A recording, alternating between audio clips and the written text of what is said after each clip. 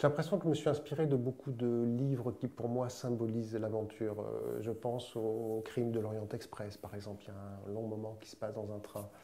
Euh, euh, des disparus de Saint-Agile aussi. On va se retrouver dans un espace qui est un, monastère dans lequel des personnages étranges vont menacer d'autres.